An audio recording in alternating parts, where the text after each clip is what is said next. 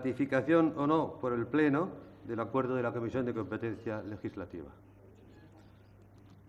Votos a favor. ¿Cuántos somos nosotros? Votos en contra. Abstenciones. El resultado de la votación ha sido de 28 votos a favor, 11 en contra, ninguna abstención. Pasamos al siguiente punto.